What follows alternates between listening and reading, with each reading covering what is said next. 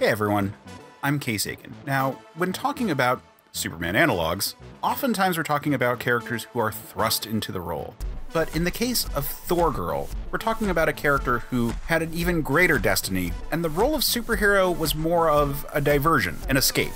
Thor Girl first appeared during Dan Jurgens' run on Thor, following the Heroes Return story arc. It's important to note that she is not a female Thor, nor even an Asgardian, but something naturally far more powerful.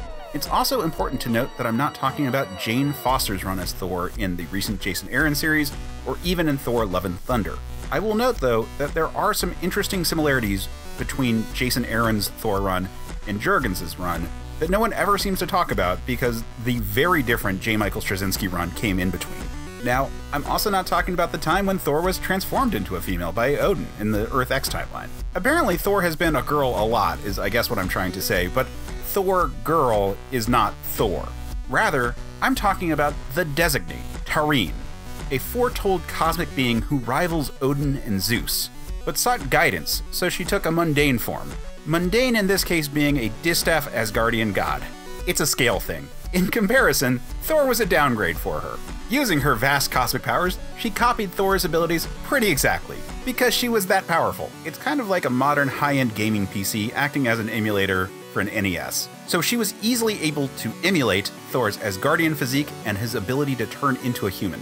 Now, at the time, Thor moonlighting as Jake Olson, a paramedic, and so she pretended to be his human cousin, Tara, when the two weren't swinging hammers around. Eventually, after saving the timeline by preventing a future Thor from becoming a dictatorial deity, she and Thor battled Thanos and she burned out her powers, leaving her as just a rogue goddess of thunder for the time. After that, she popped up in the initiative, becoming friends with Ultra Girl, who we've talked about before. Except she didn't, because she was actually a Skrull impersonator, and this was part of the Secret Invasion storyline. After that, she sought counseling to deal with the trauma of her abduction, and then during the Fear Itself story arc, she came to blows with the US government when she was mistaken for an Asgardian invader. As a result, her full powers activated, but she also became disgusted with humanity and has, as far as I know, left Earth and has not been seen again. As far as her design goes, I like the stripe design for heroes in general, though I know from cosplay experience that it's hard to pull off in real life.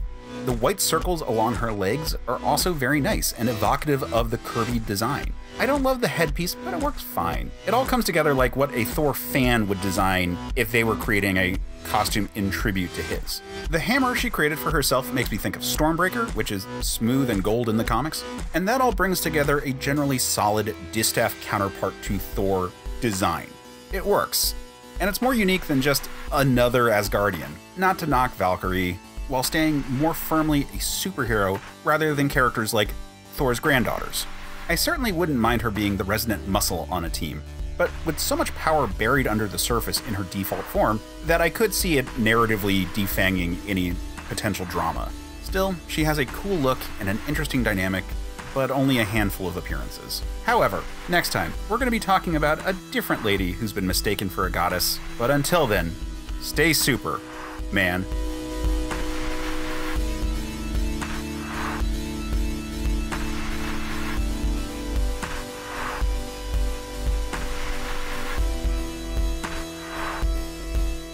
Hey, this is the part where I thank you for watching the video. I would also like to ask you all to like and subscribe and do all the YouTube stuff that helps the algorithm put us in front of more eyeballs because I, I like that this channel has been growing and I really appreciate everyone who has contributed to that.